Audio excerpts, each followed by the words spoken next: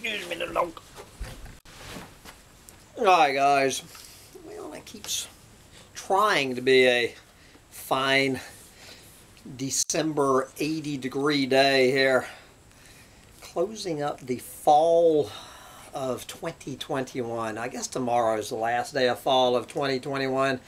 That would make today uh, Sunday, December 19th, 2021. And uh, little dog and I just hanging out here in the collapse of global industrial civilization scrounging for food here in the uh, Point Lonesome Swamp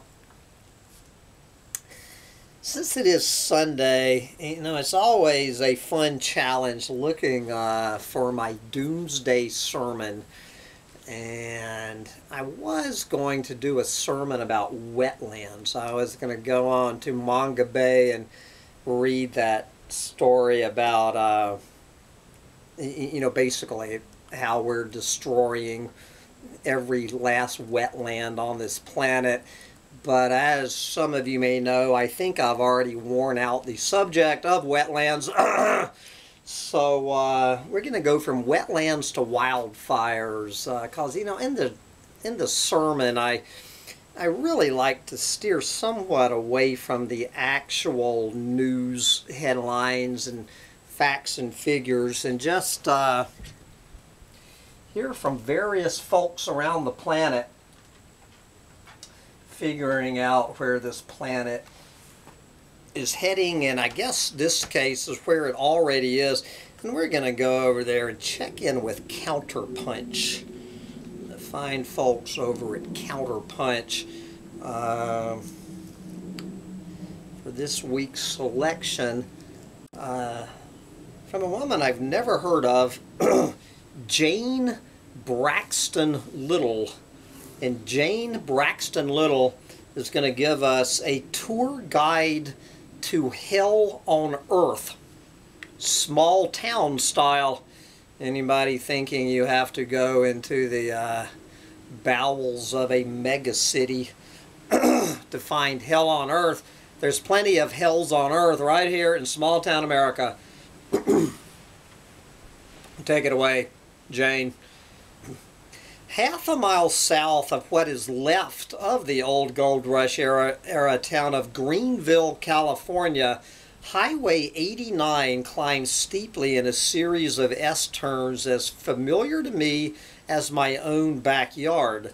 From the top of that grade, I have sometimes seen bald eagles soaring over the valley that stretches to the base of Keddie Peak, the northernmost mountain in California's Sierra Nevada range.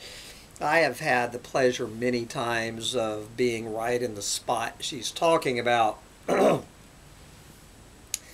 Today, stuck at the bottom, thanks to endless road work, I try to remember what these hillsides looked like before the Dixie Fire torched them in a furious 104 day climate change charged rampage across nearly 1 million acres, an area larger than the state of Delaware. They were so green then. Pines, cedars, and graceful Douglas firs mixed with oaks pushing through these thick conifer foliage in a quest for light and life. Today, I see only slopes studded with charred stumps and burnt trees jackstrawed across the land like so many giant pickup sticks. Dixie did far more than take our entire forest. It razed Greenville, my hometown since 1975, it reduced house after house to rubble, leaving only chimneys where children once had hung Christmas stockings and dead century-old oaks where families spanning four generations had not so long ago built tree forts. The fire left our downtown with scorched, bent over lampposts, touching debris strewn sidewalks, The historic sheriff's office is just a series of naked, half round windows eerily showcasing devastation. Like natural disasters everywhere, this fire has upended entire communities. Sadly, I have plenty of time to contemplate these devastating changes. I am the first in a long line of vehicles halted by a burly man clad in, night neon yellow and wielding a stop sign on a six foot pole. We motorists are all headed toward Quincy, the seat of Plumas County and its largest town. My mission is to retrieve the household mail, a task that would ordinarily have required a five minute walk from my second floor office to the Greenville post office. Now it's a 50 mile round trip drive that sometimes takes four hours due to the constant removal of hazardous trees. I'm idling here impatiently. Greenville still has a zip code, but the fire gutted the concrete block building that was our post office. The box where I once received magazines, bills, and hand decorated cards from my grandkids lies on its back, collecting ashes whoever promised that neither snow nor rain, nor heat, nor gloom of night would impede postal deliveries never anticipated the ferocity of the Dixie Fire. Few did. That blaze erupted in forest primed for a runaway inferno by a climate that is changing before our eyes. Temperatures worldwide are up 2.04 degrees Fahrenheit since 1901 and 2.7 degrees Fahrenheit in the U.S. since 1970. This year is California's driest in a century. She must have written this right before that big storm uh, blew in a few weeks ago only 11.87 inches of rain or snow fell, less than half what experts deem average. Combine that with a century of forest management that suppressed natural fires and promoted the logging of large, more fire resistant trees, and these forests needed only a spark to erupt into a barrage of flames that swept from the Feather River Canyon to north of Lassen Volcanic National Park, the equivalent of traveling from Philadelphia to New York City. Pacific Gas and Electric Company, normally called PG&E, almost certainly provided that spark as company officials told the California Public Utilities Commission. Earlier, they had accepted responsibility for the deadly 2018 Camp Fire, which destroyed the sadly named town of Paradise and three other blazes. Those fires are the outsized products of corporate greed and a gross failure to maintain the company's electrical infrastructure. PG&E's negligence comes at a time when a dramatically changing climate is wreaking havoc worldwide. For every victim of the Dixie Fire, there are thousands who were hit last November by massive hurricanes in North and Central America and hundreds of thousands who find themselves escaping rising seas in places like Bangladesh and elsewhere in the global south. As the United Nations High Commissioner for Refugees reported in April, the number of people displaced by climate change related disasters since 2010 has risen to 21.5 million, most of them in poor countries and small island states. climate scientist Katharine Hayhoe calls all of this global weirding, adding, quote, no matter where we live or what we care about, we are all vulnerable to the devastating impacts of a warming planet. Close quote. Ten minutes pass. The bored man with the stop sign pounds it onto the pavement like a squirrel defending its nuts. What about a squirrely defending its nuts like that? Yes, squirrel defending its nuts. Waiting here in a quest to retrieve my mail is the least of the indignities of living in the scar of the Dixie burn. In fact, I am among the fortunate. Although the fire did destroy my office in downtown Greenville, the erratic winds that bamboozled firefighters for months inexplicably shifted flames away from my house and the surrounding forest land. Two neighboring communities had already gone up in a firestorm of, of torched trees and burning embers after a pyrocumulus cloud collapsed above them on July 24th. Ten days later, it took less than 45 minutes for fire to reduce Greenville's tarnished gold rush charm to smoldering ash. The town has now lain comatose for more than four months. Those of us whose houses were spared drive through its drive through it white-knuckled, stomach-churning, compulsively reciting the names of our neighbors whose ruined homes we pass. Like the victims of climate disasters everywhere, such former residents have scattered to the, I'm sorry to use the word, winds in a diaspora that has shattered our community and left those of us who remain wondering how we can possibly rebuild our town. Greenville has always been the stepsister of Plumas of Plumas County, the least affluent of its four major communities, the least politically significant, and the first to be threatened with school closures. It lacks even one rich philanthropic resident.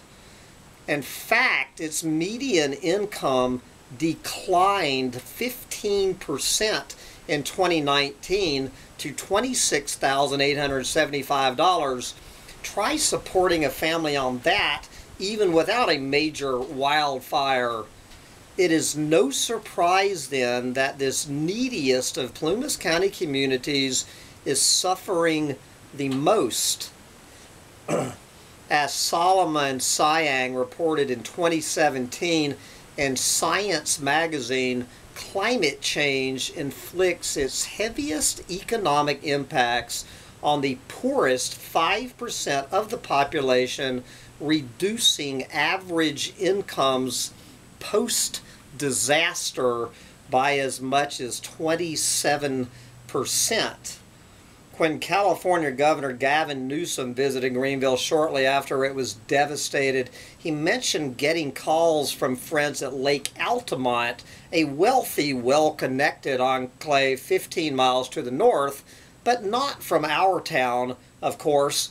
The state authorized an immediate $5 million for disaster relief there, but the response of county officials, county officials has been anemic at best. County supervisors have done a little more proactive than declare a disaster. The county school district district responsible for the virtually undamaged Greenville Elementary and High School campus talk about survival miracles took no initiative to turn its abundant facilities into safe, warm, functioning spaces for Dixie victims. only recently has it agreed to house a resource center providing them with everything from blankets and jackets to soup and cat food. At the most local level, the Indian Valley Community Service District, with bankruptcy looming, is struggling with how to collect the usual fees for water and sewer use with from a town with almost no residents. The local Chamber of Commerce is in complete disarray. Yes, the anguish of living in a burn scar takes a toll. My dreams are littered with drifting pages of burned books and bearing faces I no longer see here a blue-eyed woman with a voice like a code red alert, a clerk with straight black, black hair cascading down his back. We lock eyes before they sink into the dark. 20 minutes pass, and then uh, this goes on and on. 32 minutes pass, 57 minutes pass one hour and 45 minutes. So we're going to skip ahead to one hour and 45 minutes. After one more tree removal stop, I finally arrive in Quincy to find a post box crammed with slick flyers from attorneys promising to recover my monetary losses. Call it cruelty or irony, but among the envelopes is a bill from PG&E. I fill up with gas, still not available in Greenville, and face what could be another two-hour drive back through that same scarred landscape. it's dark by the time I arrive in Greenville. The lights still on in Evergreen Market are welcoming, but most of the town has no electricity or even poles to mount streetlights. The only true intersection at Highway 89 and what's left of Main Street is illuminated by a generator. When it's working, it's a little chancy, but I take a shortcut on a side street past burned out residential residential debris looming in the dark, and there suddenly are tiny lights spiraling improbably into the night on a 10 foot Christmas tree. Just beyond it, multicolored lights outline a set of stairs to a house that is no longer there. Who knows where those lights will lead us. Yep, yep, yep. Uh, so that article uh, originally appeared in Tom Dispatch, and if uh, you want to read the uh, what happened between 20 minutes and and an hour and 45 minutes, it's all there, guys. Uh, Anyway, I think that's a fine uh, holiday cheer story. The uh, Christmas lights leading up the stairs to a house that is no longer there. And uh, what is it now? Is it six days till Christmas? Good Lord, but uh, I have run into the tragedy of my uh, my coffee creamer has curdled. And uh, so for the first time since Wednesday, it has been four days since I have uh, cranked up my gas sucking truck and gone in uh, to town. But I have some curdled coffee creamer and the little dog is out of food. So we are off to have some social intercourse in the oasis of freedom. while we still can. Bye, guys.